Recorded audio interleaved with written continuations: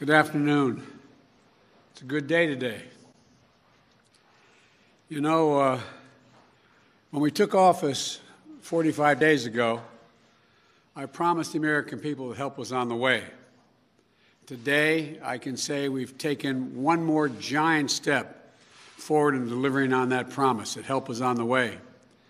I want to thank, start off by thanking the Vice President, but I want to thank all of the senators who worked so hard to reach a compromise, to do the right thing for the American people during this crisis, and voted to pass the American Rescue Plan.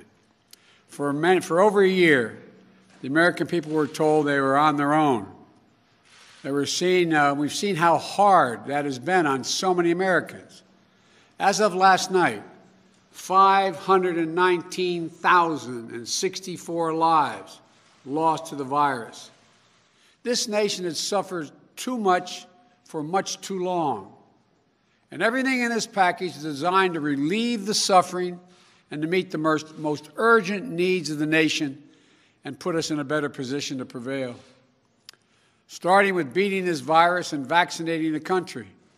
The resources in this plan will be used to expand and speed up manufacturing and distribution of vaccines over 85% of American households will get direct payments of $1,400 per person.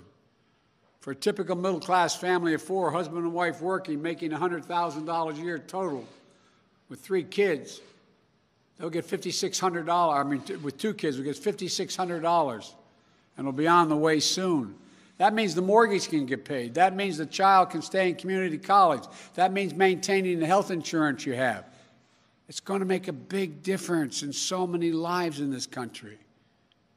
Unemployment benefits will be extended for 11 million Americans. Schools are going to have the resources they need to open safely.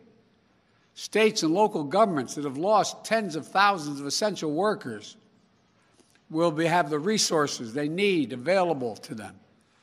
When I was elected, I said we were going to get the government out of the business of battling on Twitter and back in the business of delivering for the American people, of making a difference in their lives, giving everyone a chance, a fighting chance, of showing the American people that their government can work for them.